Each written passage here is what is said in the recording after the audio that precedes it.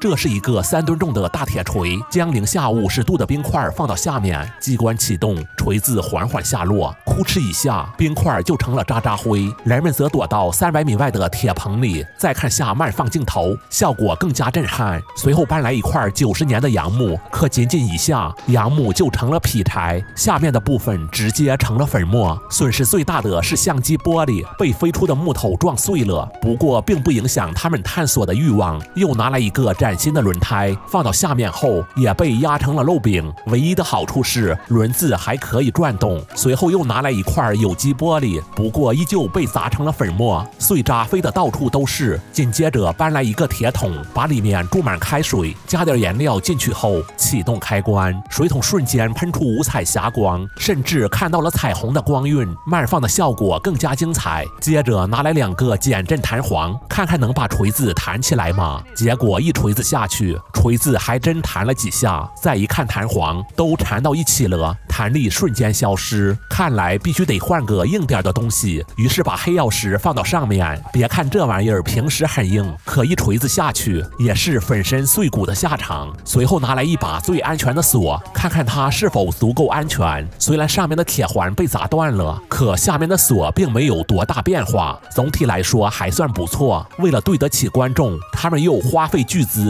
买了几个二手保险柜。先从最小的开始，仅仅一下，它就成了铁饼，里面竟然连块水泥都没有。随后放下第二个，一阵烟雾过后，这个也没逃过一劫。不过质量相对第一个好些，至少里面还有水泥。撬开一看，里面居然还有红包，真是意外之喜。随后又拿来个大点的保险柜，虽然个头很大，可一点都不结实，都是面子工程。接着是另一个，一锤子下下去，冒出无数烟雾，这是放了多少土？更惊喜的是，它竟然没有被砸扁，质量真不错。随后又砸了一锤，这次他彻底歇菜了。最后登场的是三千刀的保险柜，据说比银行的还要结实。果然一锤子下去，它竟然一点事都没有，只在上面留了一点印记。第二锤下去，依旧稳如泰山。第三四锤也坚持下来，只是边上有点裂纹。再多试几次，还是没有进展，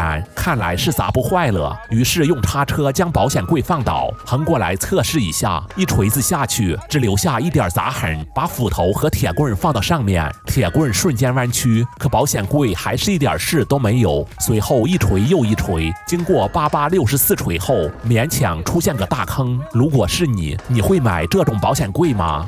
小伙举起弓箭，对准前面几十个气球后，松开了手，一阵噼里啪啦声传来，气球全部破裂，这也太刺激了。随后又扔出一根香蕉，结果只弄坏了一个。另一个小伙见状，脱掉袜子，用力扔了出去，却被弹了回来。原来他们参加一场特殊的比赛，在一堆工具中测试哪个打破的气球最多。第一个小伙抽到了铅笔，只见他举起胳膊，用力一甩，竟然爆了这么多。仔细一数，足足有六个。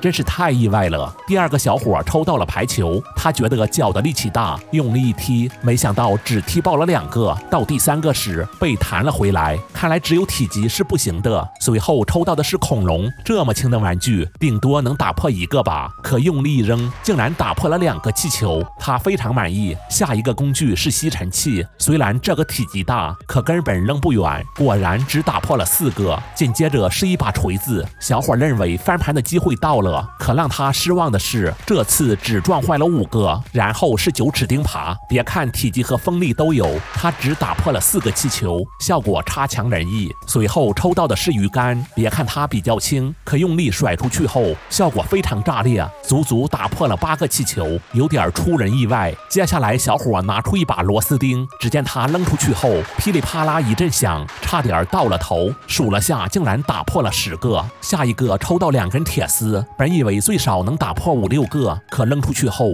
只坏了一个，而最后剩下一把弓箭，小伙一箭射出，只打破了八个气球。另一个小伙表示不服，也试了下，结果打破了十二个。怎么中间还剩一个？那么问题来了，你觉得打破气球的诀窍是什么呢？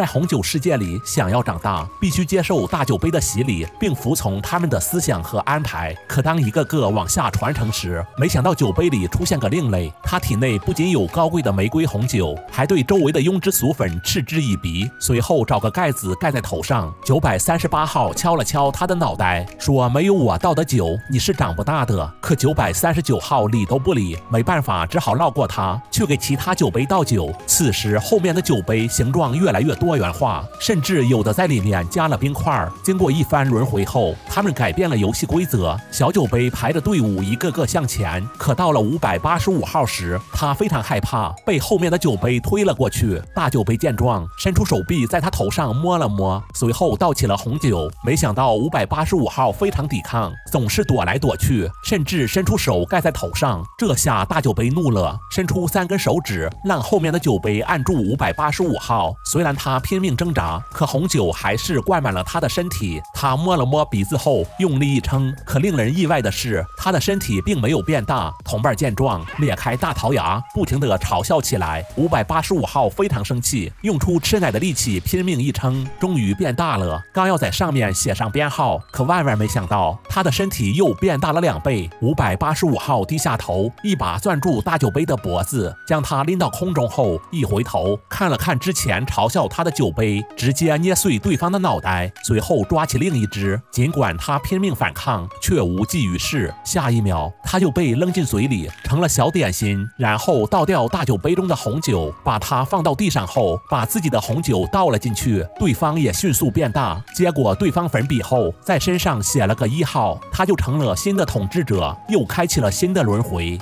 这俩酒杯太可恶了！为了当老大，竟然把红酒倒进小弟体内，随后狠狠地撞到一起。左边的酒杯瞬间头破血流，另一边则加了一分。随后把九十三号放回原地，一把抓起九十四号。第二轮比赛开始，把酒倒入杯子里后，在小酒杯惊恐的表情下，他们狠狠地撞到一起。这次右边的酒杯撞碎了，双方打成了平局。可右边的老大不服气，瞅了半天后，抓起一个更结实的，倒满红酒后，开始了第二场比。赛这次左边的失败了，可当再次选小弟时，九十五号睁大眼睛，伸出双手用力一推，可力气太小，还是被一把抓了过去。刚要往里面倒酒，九十五号拼命挣扎，可无论怎样都逃不出去。大酒杯见状，伸出手指把他抬晕后，往里面倒满红酒。可刚要比试时，九十五号不想成为老大的牺牲品，伸出手臂一拳将脑袋打碎了。俩大酒杯彻底傻了眼，他们从没遇到过这种情况。另一只小酒杯见状，用力抽出胳膊，握紧拳头后，对着脑袋就是一下，里面的红酒哗哗的流了出来。既然早晚都是破碎的结局，为什么要成为取乐的工具？在这种精神的感染下，他们伸出拳头，纷纷将自己的头打碎。眨眼间，一个个都变得残破不堪。他们用这种自残的方式，争取属于自己的自由与尊重。大酒杯见状，非常生气，愤怒地转身离开了。看到这一幕，小酒杯们非常。兴奋，可击掌庆祝时又发生了意外，左边的手臂被打碎了。后面的酒杯急忙掏出本子，在上面画了个一。新一轮的游戏又开始了。